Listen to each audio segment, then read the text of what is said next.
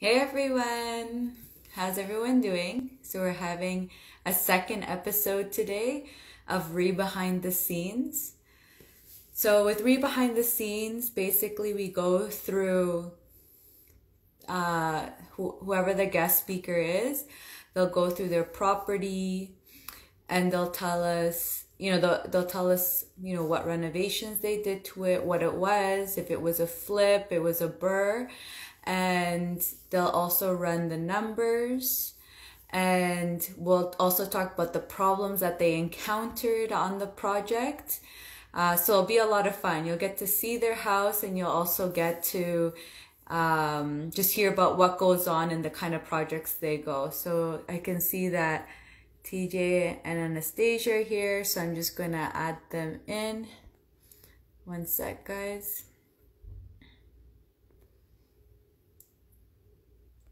Oh no. TJ, you have to update your Instagram. it's not letting me add you. Uh, I don't know if you want to just quickly. I know the same thing happened on a on our previous one. TJ, if you just want to go quickly get onto uh, your the Apple Store or whatever you use and just update your Instagram, then we can get on. Because it's not letting me. It's saying that your version of Instagram is uh, an older version. It's not accepted. So while we let him just get his Instagram updated, um, we can just talk about yeah uh, or TJ, I just want if you can just message me, let me know that you are going to do it, or that you've understood me. Hopefully. Okay, let's try. Or maybe Anastasia wants to. Okay, let's see if Anastasia will it work. I think we're on. Hey. Okay. Can you hear me?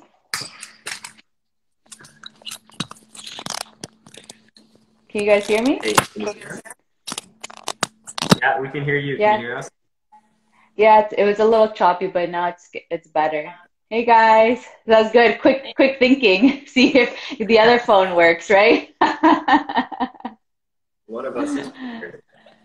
yeah, that's the good thing of having a team, right? One one of them fails, got, there's another one going. So at least you got options. So thanks guys for coming on for REI Behind the Scenes. So this is TJ and Anastasia, and they're going to be talking to us about their flip. So before we get started on talking about the flip, can you guys just tell us a little bit about yourselves and your experience in flipping? Uh, yeah, so um, me and Anna kind of started the company together um, around September, wasn't it? Well, we kind of talked around in summer. Yeah. Um, I used to just be a hobby flipper. I've done about five flips on my own over the last eight years. And uh, so I was pretty experienced in our area when it came to that. And um, Anna's done some buying and holds in. Um, no, don't say. Okay, all right. it's a secret. You know, just the, It's a secret. Yeah. But I have a few um, uh, rental properties in um, in the real estate, so I know the markets, and uh, you know, been always interested in doing the flips.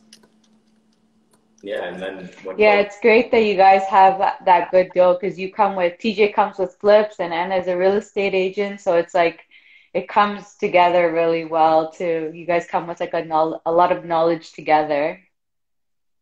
yeah, exactly. So would you like to uh, show us what you guys have done? Sure. Yeah.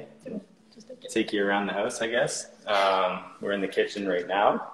Oh, how do I use this weird thing that you have? There we go. You can have, you can make it flip the you can flip the the Okay. camera so it shows on the back camera. Yep. There you go.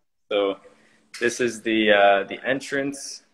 Um, we had to do a lot in this house when it came to beefing up the um, the ceilings and restrapping out all the walls to bring it up to code. Um, there used to be like it used to only have wood stove heating, and uh, we we put in a furnace and ran ran ducts So we had to do a lot of bulkheads everywhere to get the ducts up to the second floor. Um, this is the dining room.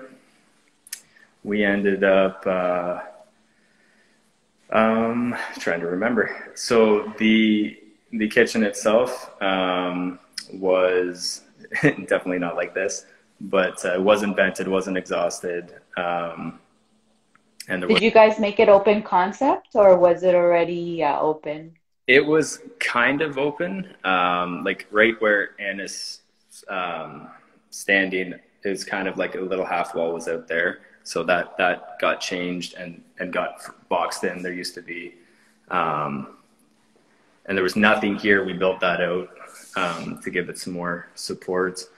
Um, and what about the layout of the kitchen? Did you guys uh, transform the layout, or pretty much stayed the same? Yeah, there was no there was no island, and the um, the it yeah it was just a galley style kitchen. And then right where the island is used to be the fridge. Um, oh okay. yeah. I think the stove was right away in the corner. Yeah. So this back room um, there was yeah there it was only it was one solid room back here um, and uh, like a condemnable bathroom um, so we mm-hmm. updated the bathroom we replumb everything is brand new. So brand new plumbing, um, brand new septic tank, brand new um, electrical, all the way out to the road. Um, we upgraded the panel and upgraded the wiring. Um, oh wow! All the way to the road. Were you guys expecting to have to do that, or was that a surprise? Yeah, uh, yeah we no, we knew it had to be done. Um, the uh, um, it, it was it was really rough. Um, this back room, so you see there's like a little laundry, half laundry, and then back here there's uh, another bedroom. So this used mm-hmm. to be just um, about right, right where Anna was standing. It was just a big open um, area and like a mud room or something, I guess, the backyard. Uh, yeah, because we had like one door and uh, two windows just going from the back. Yeah, the right where you see right now is where there was a, just an exterior door, and we we reframed that in, and then we moved a patio door over here, so we had nice light. yeah, we made it way bigger. Um, That's awesome. Back, yeah, this whole back room was not um, insulated properly at all, so it's all spray foamed and rebuilt and new subfloor. Um, the stuff that you can't see is the stuff that we did the most work on. So like the floor underneath the floor here, there's is all brand new subfloor and about uh, probably about two thousand dollars in just level, just just beefing up the floor and and, and making it level. Um, yeah, so down. Yeah, so it would originally was a three bedroom, one bath, and now we have a four bedroom, two bath with a laundry room. So. Oh wow, nice. Um, and what did you guys use for self leveling? Leveling, just curious, because we're also in the process of self leveling, also our main floor.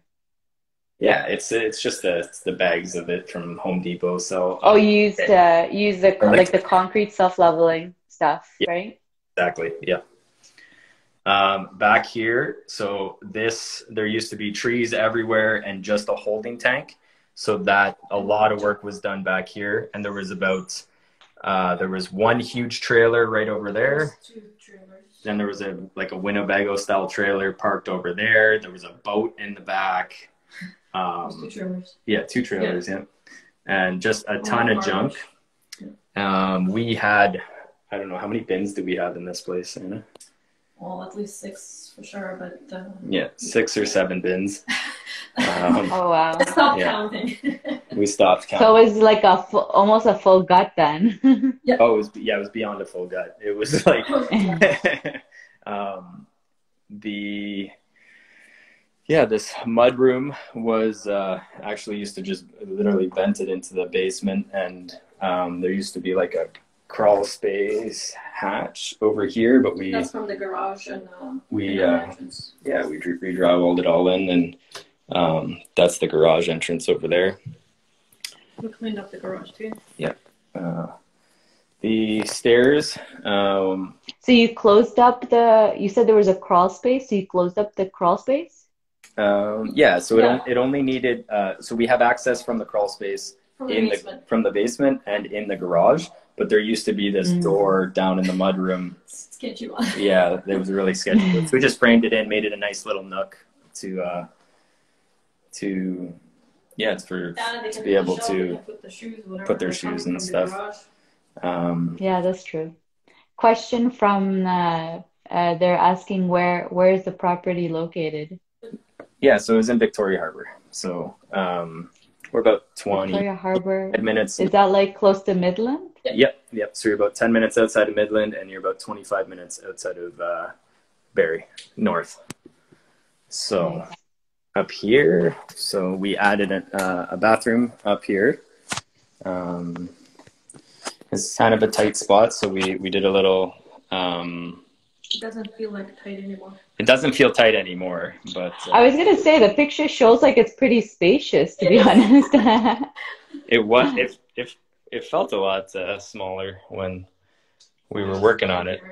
but uh, Port Severn area. Port Severn is a little bit farther. It's probably another 15 minutes, uh, 20 minutes away from me. More, more north. Um, so we have three bedrooms up here. We have a master and, and two two symmetrical rooms on each side. Um, all new windows throughout this place. Um, the Only electrical, only plumbing. Yeah. So if I don't know if you guys can tell, um, but the ceilings are kind of short, but they they they they were about maybe half a foot above Anna's head right now when we originally bought it. So we actually had to re-structurally beef up the the um, the ceiling to add more height. Um, Closets. So this house is uh is it a one and a half then? yeah, it's one and a half. Yep. And Oh, okay. uh, yeah, we did the his and hers closet on each side. Um, Nice. Yeah. That's good that you're able to salvage some of the attic and use it for like to increase the height on the ceiling.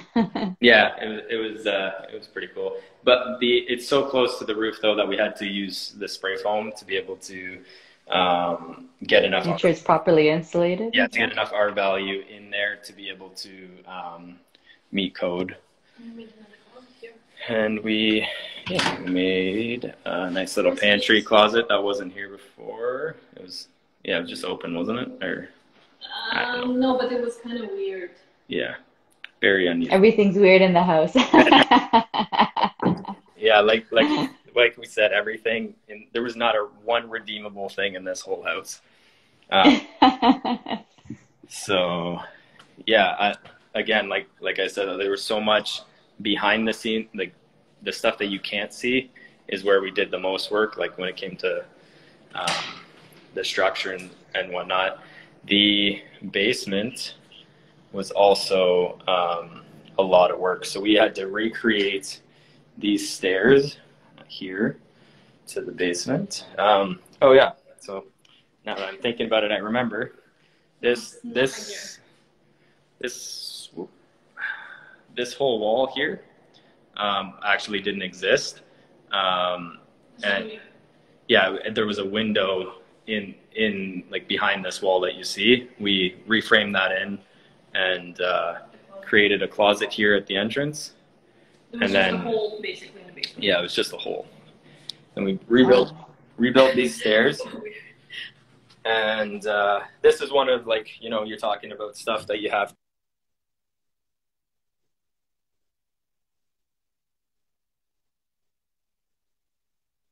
Uh, we paid a contract come in and because the- there we couldn't do the the system on the outside, so we had to do it on the inside. And so what happens is they jackhammer up around the perimeter. They run some O pipe and some uh, um, whatever to get it down, get it to the sump pump, and then the sump pump takes all the water around the house and diverts it out to wherever you you make it go. Um, we paid one contractor to do that, and he did it all wrong. So we wasted a good I don't know, six thousand dollars with this guy, and uh, oh my god. Between the labor and materials. Yeah, between labor and materials. And so he just didn't have experience in it, and he yep. took on the work, or exactly. Oh, wow. Yep. Yeah, you get that's one thing you learn with these is like you get a lot of uh, people that talk the good talk, and but uh, then you know it was good that it happened because we found an amazing connection, and as you can tell, they do it 100% right. So. And it comes with a lifetime warranty that's transferable to the new owner. So that new owner will have peace of mind forever, which is amazing on these old farmhouses. Um, that's a, that's really great, yeah. And this uh, this white, uh, almost thermal thermal style stuff is an R7 value. It makes it warmer, and all any water that were to come behind it just gets trickled into the system and out. Um, yeah, to the sump pump. This and uh, on the sump pump, we we did a, a, battery backup operated so that if the power ever went out, um, the the new owner doesn't uh, have to worry. We kind of went overkill, so we upgraded the the um, the breaker to a 200 amp because we were re, we're, we were redoing the electrical as it was, and um, we we figured it's not an extra it's like an extra 200 bucks or 300 bucks to upgrade to the 200 amp um, when you're already doing all that work. So we we went ahead and did that. Um, and so you redid all the electrical work in the full house. Full house, yeah, yeah. And yeah, when you're doing something like that, it makes sense. Like, why not just add the extra few dollars and yeah, upgrade the panel because it's in the grand scheme of things, it's not that expensive. yeah, we, we even went overboard and we got some heat tracers for the roof to make sure the ice didn't build up on the because it's a low slope roof.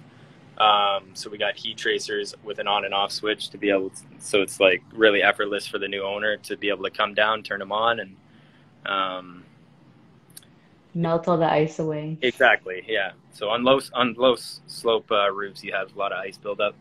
Uh, we did brand new furnace, brand new duct all the way through the whole house, um, brand new water heater, um, brand new pressure uh, well pump inside the well and the well pump uh, sorry, the pressure tank itself, all brand new. Um, yeah, we had to put a couple structure posts and stuff just to beef things up. Um, That's awesome. Great job. Yeah. And then again, stuff that you don't see is we had to get an excavator in here to dig up the the uh, the well and uh, refix because the well pump is on the inside, and we had to do they had to dig it up to get there. So a lot of work that way. Was was that extra work though stuff that you already anticipated? Uh, Let's say with the well. We were praying that it wasn't. There was something broken on the inside of the well, and we were praying that it was salvageable. But then we ended up having to dig down. Uh, thank the line. Thank good the lines were good uh, that were going underneath the ground.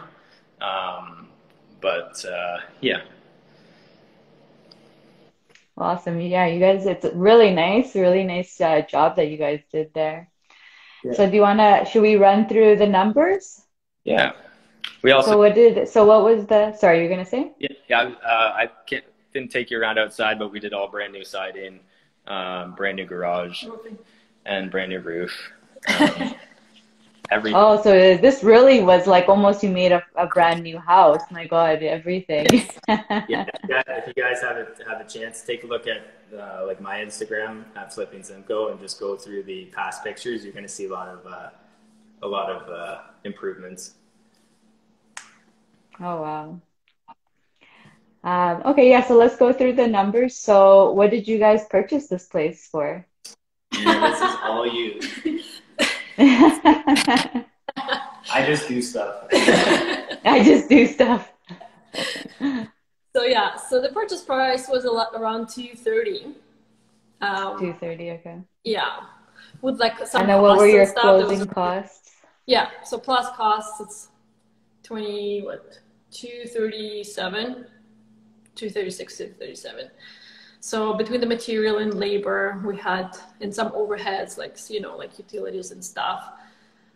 So the the total overall, the whole thing, it, we end up having around 387 thousand. That That's that's like your holding cost and your renovation. You're no, that right? with the purchase price, closing costs, material, labor, all the holding Oh, okay. costs, and all that stuff. That's around three hundred.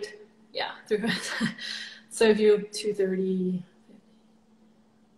Yeah, so around 150 between labor and material. Yeah, 150 for labor and material. Oh, okay. yeah. And uh, so how much? And uh, how long was this project? How long did the full renovation Too long. go to? Long. Well, in a way, yeah. Um, so we, it was about November is when it Yeah, started. beginning Yeah. of November. November is when it actually got off the ground and started, and uh, about the third, third week of February it was done. That's really fast. So you you February. So you got a full house, the full house done in like two and a half months. Uh, no- November, December, January, February. Yeah, four, Four four months. months. and Oh, four months. Sorry. four and a half months. That's still that's really good for the whole house being done. What were you thinking it would be done? How long did you expect it to be initially? if we didn't have contractor delays and all the fires that we had to do, we had to fire Wow. seven contractors. Yeah, also with the Um, pandemic, there was a lot of delays in the material and the appliances and all that stuff. So there was a Yeah. lot of delays on that. We went through like seven different kitchen companies just to get this kitchen. We weren't, the intention wasn't to do two tone. It just ended up being two tone because that's what was in stock. And it actually turned out Oh, way nicer than uh, yeah. I was gonna say the two tone looks actually really nice. That's Yeah. funny. Turned out it went it went for good for you guys. So, And so, uh, so the burning question I'm sure everyone's wondering, what did you sell it for? so we ended up, Five so yeah, we ended up going for 590 which is amazing. That's amazing. So it's your profit. we let we listed it at 499 and it's got into a bidding war and sold for 590 um, our profit is uh, ended up being after everything was all said and done All the after commissions. Yeah. Uh, all, all after all of that, that would be basically the profit is just over one fifty. That's amazing. You guys did an awesome job. Wow. yeah it was uh, a lot of lot of work and a lot of headaches crazy stories but all the drama for an amazing profit, at least. You know, at least the benefit came from it. I feel like it'd be a lot more sadder if you're just like, oh, we made 20K and that's Yeah. it. You know? all the stress for a little measly 20K. so keep in mind like the normal you know uh, minimum what we're trying to do is 30000 a flip. So this was leaps and beyond what we were expecting so uh, which is awesome. But uh, it was it was uh, there was a lot of times where i was like oh my god are we even doing this? Yeah, guy, and uh, when the basement guy said everything was good, and uh, I came in and there was literally like three feet of water in the basement, and, uh, and those are the moments where you're just like, oh my goodness, how the hell am I going to sell this house? And then calm, calm down, bring in the bring in the good guy, and uh, and then yeah. So what happened? Why was there why was there that much water in the basement?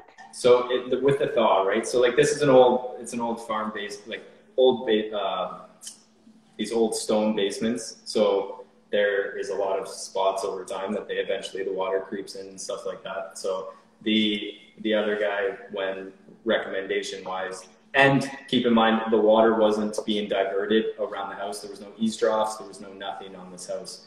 And when we tore off the front deck, there was this god awful front deck that went halfway across the yard with like a wheelchair access.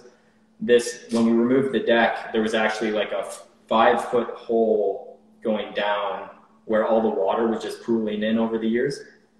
So um, when we re- we had to rebeef everything up on the inside and, and then divert the water out through the sump pump. And on- once we had a, a, a place for the water to go, then it was it was sound because we re, we reparged everything and, and made it uh, like in, there's no more holes um, coming into the house. It's just being able to take the water and, and make it go where it needs to go away from the house. And the eaves troughs uh, definitely helped a bit.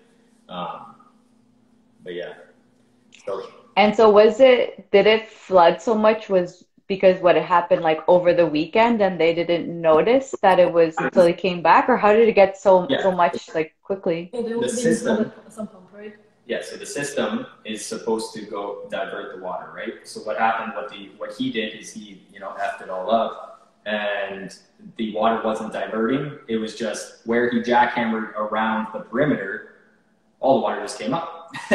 came up and leaked. oh so it was a mis- it was mistake that he made it wasn't just the house itself like it was actually mistakes that happened One hundred percent. Yeah, it was done it was because oh and this is probably the guy that you were talking about that didn't know what he was doing was it Yeah. that guy Yeah, exactly. oh and then fun fun they funded the sump pump wrong, so then the sump pump wasn't shooting out. It ended up getting clogged because there was so much junk in the in the sump pump thing.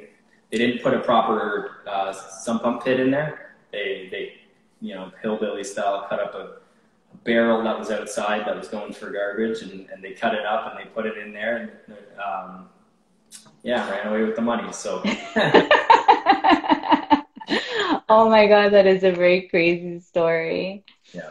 And so I guess for you for the solution for that, you just uh so did you do and get like with the next person that you hired to get this done, um like what was the what differences did you do with let's say vetting them or or what or did you get like references like how did you feel let's say confident because i feel like when you hire someone and they do such a terrible job you know, kind of shakes your confidence, right? To try to find the next one because you're just like, man, I just threw off this six thousand dollars, and now it's like I need to bring in more money. You know, how, did you guys do anything different when finding the next person? So, so the the next step, I called my project manager and I'm like, you have to vet, get three references, call whoever you know, and figure out who the best guy is in town. Uh, I'm gonna give a shout out to him. His his name's Al from Ontario Wet Basement Solutions, and he's amazing.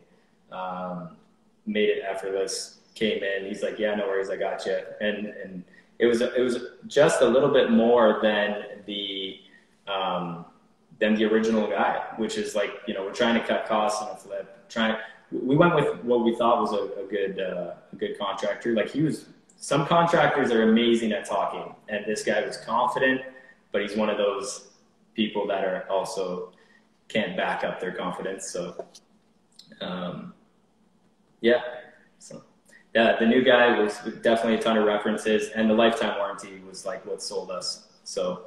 Uh, we really Yeah, I feel like they come with more credibility. If they're warranting it, then you're like, okay, well, you must know what you're doing. Yeah. That's awesome. So what what other problems did you come out that happened with this property? Um, what didn't we have problems with? oh, um, yeah, like I said, contractors, right? So we went through, um, you know, the one contractor I found, like when I came in. Uh, so one of the mistakes that I made is I didn't have, um, I was trying to take on too much on my plate, so I didn't have a project manager on location all the time. I was trying to be the project manager and run another business and trying to do everything all at once. So when I brought in the project manager, it was a big help. But at the time, I was trusting the contractors to come in and do what they're supposed to do. I would meet them in the morning and then follow up at night. And uh, having somebody in that role is definitely was was worth the money, uh, definitely. And um, so, for instance, I would show up at the end of the day, or, or maybe I'd be able to sneak away from my other business and, and come check on the job site. And when I come and check on the job site, you know, there was a bong in the bathroom where they're, you know, um, they they ended up getting let go. Um, oh, that actually happened. There was a bong. I thought that was like an uh, like if it happened. it, it did. So I That's hilarious. also had another contractor um, get into a fight with his wife, so he thought he would come here and spend the night. And uh, you know, you know, it, maybe if you would have asked us, I would have been like, "Yeah, man, no problem, camp out." But uh, you know, just I actually, when I found out about it, it was right before I had to pay him, and I'm like, and I actually took I took 200 bucks off of his his bill For rent. for the yep. That's hilarious. Oh my god, I ha- I actually had a similar thing happen, but it wasn't it wasn't that the per- the people were sleeping; they were working in the middle of the night.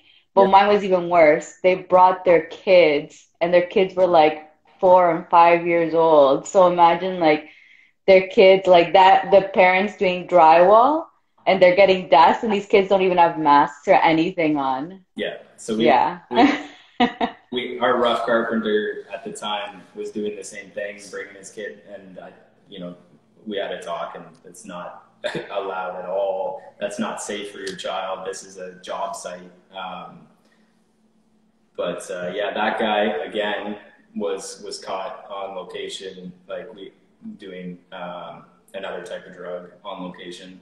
Um, so we had to let him go and find somebody else. Um, we had uh, I, I made it uh, a rule I wasn't going to come in and do any renos when I used to do flips, I did all the renos myself. Um, but on this one, I was I decided I wasn't going to do it. That's the only way we're going to be able to scale the business. Um, I got a call right before, like ESA, the electrical inspection had to come in, and there had to be a wall built for the electrical to be able to run be run through. And the ESA was coming on the Monday. I got a call on Friday night. Was it Friday or no? Yeah, Saturday morning, saying the rough carpenters walked off location. They're they're not coming back. Um, so I had to come in uh, and, and, rebuild this whole wall over here uh, to run the electrical through, which was a piss off. It's not that I couldn't do it. I was just pissed off that like, okay, I was supposed to not do a single thing. Be involved so much, yeah. Come in, demo the wall, rebuild the wall, and uh, just to get it the uh, uh, electrical inspection in in time. And then another contractor that we fired who's doing the ins- insulation um, when we came when I came in to meet the inspector to pass the installation. Luckily, I came in about five hours early, six hours early, because I like to come in in the morning, and uh, I could see the exterior, like I could see outside, um, like everywhere where I was looking. There was holes. I went around with the permanent marker, and there was about I don't know 47, 57 spots of just holes and gaps, and it wasn't tight, and everything that they had to do because we already put the vapor barrier, right? Yeah. And uh, so then I had to you know, cut it all open or remove it all, do it right. So I spent another six hours fixing their mistake. And when they asked me to come get paid, I was like, you know, this is my hourly rate. this, and they were not happy, but I was not happy as well. So, um, yeah, it was better to just pay them to leave, but I also deducted my wage out of it. So. well deserved. Yeah, so were you guys paying all your contractors hourly or or was it like, you know, this much for drywalling, let's say? Yeah, so, some were hourly, some were some were by the job. So like our finished carpenters were hourly, um, our laborers were hourly. The um, electrical HVAC plumbing. Yeah, electrical HVAC. Yeah, they all bill like they, they give a quote for what it's estimated to be and then they bill you based on material and hours for all the utility like HVAC, plumbing and um, electrical. Um, drywall was by the board foot and then it was just uh, and same with the, the taping was by by the foot. So um, so would you consider to still do the like the way you pay them, let's say hourly or or like by quotes you would still continue that way like did you see any like good and bad? Like did you think it was good that you're paying them hourly because you could kind of let them go quickly? Or you know would you prefer let's say you do like a lump sum amount because I'm so sure. the, the way we have it structured like with the laborers i like keeping the laborers hourly because you're always getting them to do random things. It's kind of hard like you get you get a job scope to do but the job scope always there's always more getting added on added on. It's simpler to just keep the laborers, and they're all, they're also the you know the cheapest to be um, to bring on location and just clean up and whatever.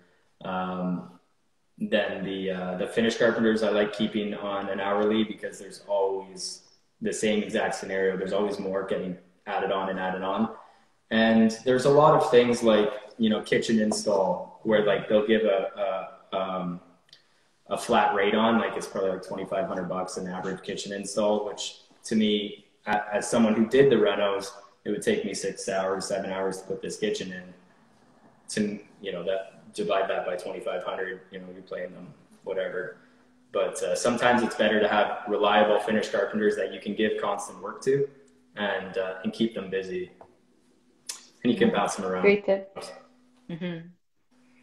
That's yeah, it's a great tip. Yeah. What about so any any other things that happened? Uh, they'd like to talk about? Talk about. we had a, a motor, like you know the, how I said there was a boat in the back. Well, we promised this guy the scrap. Like he came to take everything away. Um, the he didn't take everything away in time, so the guys who were doing the septic tank ended up loading their stuff and, and getting rid of it. He that was a huge mess in itself because the one guy's upset and yada yada. It was a big drama the the one motor that was in the back, the one scrap guy really wanted it, but somebody came at night and took it. Um, there was somebody loaded up a bin, like we had the bin out front. Somebody loaded it up about four feet higher than the bin. So they just drove by in the middle of the night and loaded it all up with their stuff. Uh, so we had to get it. Oh, like a random person. Yeah, and we had to get a number. And maybe random. Yeah, maybe random. Maybe it was one of the contractors. Maybe. Who knows? the, the what's it called? It's not really the road where the, a lot of people are driving by, so it's not like random. Yeah. So yeah. Um, yeah, we had to get another bin to offload to unload that bin and then take both bins away, so we had an extra expense. That's why it's like we lost track of how many bins we had here. That's also like we we ended up developing a good relationship with the bin guy on this job, so now he's our guy on every job and much more affordable. Doesn't charge us for um, charges us very minimal for doing a swap out. And uh, a lot of companies, they pay you, like, each, they have a pretty high fee on the swap out. So. That's awesome. That's good. That's good that at least everything, yeah, like all this from all the stress that you had, it came out very well. it is. So, how much was the renovations? Like, uh, how much over budget do you guys think or if you do know, uh, like, did it go over? 35. Yeah, so our original budget was 135 on this. Um, we it was about one, I would say one fifth, no, yeah, 160. Yeah, um, not including real estate and stuff.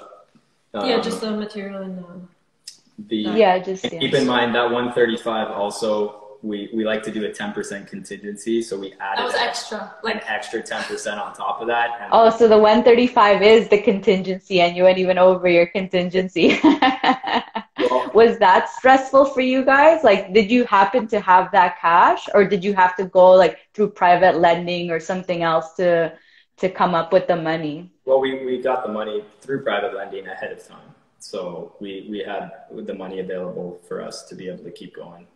Um, that wasn't the stressful part. Yeah, money. The money wasn't no. the stressful part. It was the having to do it twice or three times, and um, the loss on time because of having to do these extra things.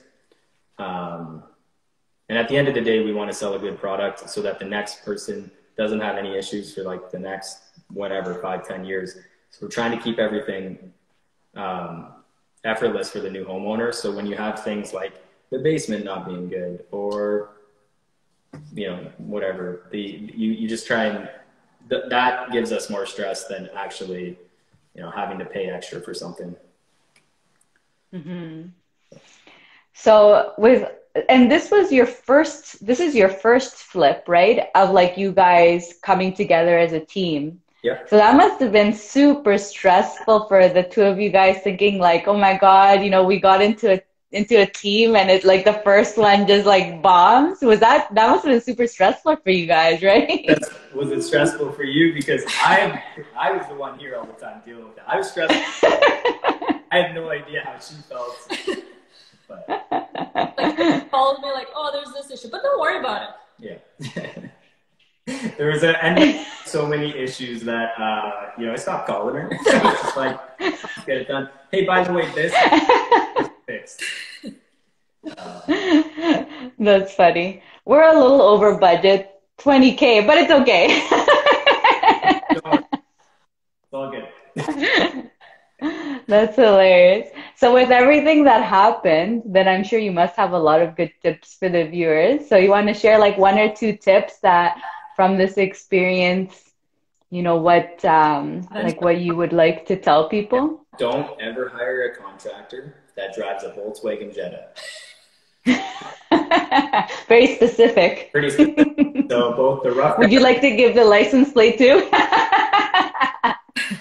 It's a joke. On it, yeah honestly though vet your contractors um, go off referrals and try not it's almost better to pay more to get somebody good. Um, to an extent, right? Like there, it is a business at the end of the day, but you know, it's better to get the best and if you can and if you can afford them. And if you're creating a business out of it, your your brand is everything, especially in the small towns. Um, so that's why um, on this project, when we had the realtors come through, we had quite a few showings. Like I think it was like between 30 and 35 or something by the end of it. We had a lot of great feedback and people afterwards asking when our next product is hitting the hitting the market because they were so impressed with how this one was done. So that that is great for the brand and great for um, the credibility, right? We want to we want to give a good product. The um, yeah, that's awesome. And I think another thing that you guys mentioned before, but I feel like I want to highlight again is, like you said, or you may be saying this next, but uh, that you said because you guys are growing your business, you guys took decided to get that project manager in, which helped you to at least make sure your pro you know keep track of your projects. I think that was probably also a huge thing. If if you're going like if someone's gonna decide to just go big like you guys are. Yeah, yeah. The project manager was a huge um, stress reliever, and it also improved the the job uh, the job site and and time frame and everything, right? Because now people have to be accountable for somebody who's going to be there. Um, and uh, yeah, so you can go different ways. You can hire a GC who also does the same thing, or you can hire a project manager specifically for the company. Uh, we went specifically for the company because this isn't our only our only flip. We have a bunch on the go. So um, one just hit the market Monday. One's hitting the market Tuesday next Tuesday. Um, we have an, uh, one being another one being worked on in Tiny, another one starting April 1st, another one closing April 30th.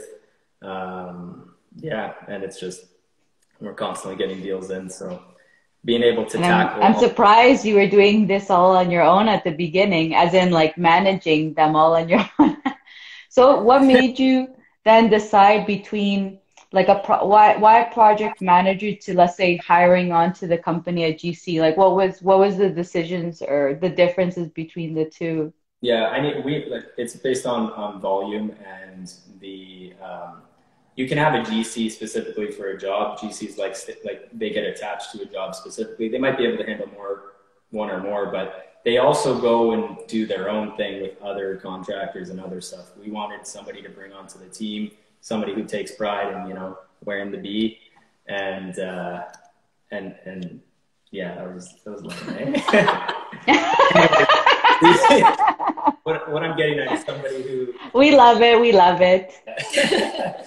we want somebody to bring onto the team. We want everybody to win. We want to keep our guys winning along the way. Um, and uh, yeah, like I said, we're getting tons of deals, so being able to bounce them around and manage multiple crews um, is is definitely uh, helpful, right? And the G, if you if you go the GC structure in that sort of way, you could potentially be going way over budget as well. Um, if it's based on the project scope and if you're doing really big rentals and etc. So um, financially and culturally, it was definitely the best scenario to to go with the project manager. So what makes what makes a GC more more expensive just because they're experienced, I guess, in the trade, and that's why they're more expensive than a project manager? Well, usually it's based on the project, the scope of work, right? So if you're doing, um, you know, like let's say we have three jobs, we had like at the time of working on this, we had three jobs on the go. One, like we went over budget, it was 150,000. Um, whatever it is, usually GCs are like 10, 15%. I don't, I don't quite know their, the exact structure, but of, of that, plus you add on the two other properties that are anywhere between 70 and uh, 150k. So add those three up, or you could just pay them salary and have them bouncing around uh, between them all. Um, as long as you're being fair um, yeah. So hmm. cool, very interesting. Thanks so much, guys. It was so fun to hear your stories and get to see your beautiful place. And hopefully, we'll see you on in another show to see your your next flips that are going on. I would love to see your other stuff. Yeah, absolutely. Awesome. Thanks for having us. Thanks. Yeah. Bye, everyone. Thank you, guys. Bye.